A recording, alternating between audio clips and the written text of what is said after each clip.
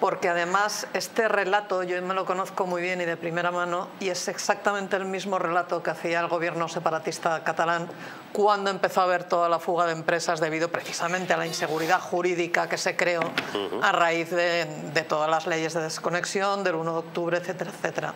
A fecha de hoy tenemos el triste balance de unas 4.700 empresas que trasladaron su sede social de Cataluña hacia territorios donde se sentían eh, más seguros ellos y sus accionistas. Algunas de esas empresas eran el cogollo, la florinata del empresariado catalán y en su momento también se acusó eh, de esto mismo, de falta de patriotismo, de que habían hecho toda su fortuna gracias al esfuerzo y el sudor de todos los catalanes, que no se podía consentir que se fueran de esa manera.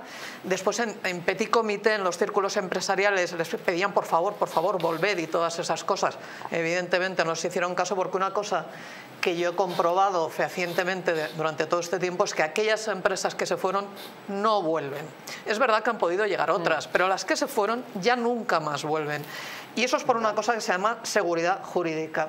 Y luego, lo que comentaba también el señor Lacalle, la indocumentación de los que están hablando en unos términos como el de no, no, es que claro, dumping porque se va la empresa a Holanda, etcétera. A ver, este tipo de empresas constructoras que optan a grandes licitaciones de contratos públicos, normalmente estamos hablando de cifras que superan los 5 millones de euros de lejos.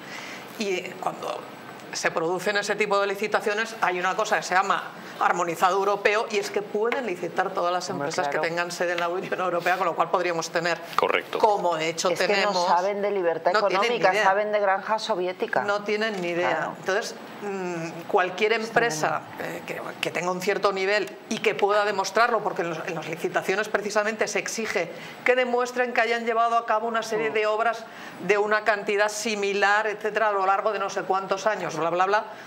Pues esto es un juego en el cual entran diferentes empresas de la Unión Europea aquí y nosotros en el resto del tiempo. Pero insisto, a mí lo que me preocupa es que el relato es exactamente el mismo, el mismo que el de los separatistas. Claro, como los tiene de socios, evidentemente copia ese victimismo de no saber defender a las empresas, a la garantía jurídica y a la eh, creación de riqueza y de empleo, y entonces la culpa es del tercero, que es muy malo, y además siempre tiene que haber un enemigo exterior. En el caso de Cataluña Ayuso.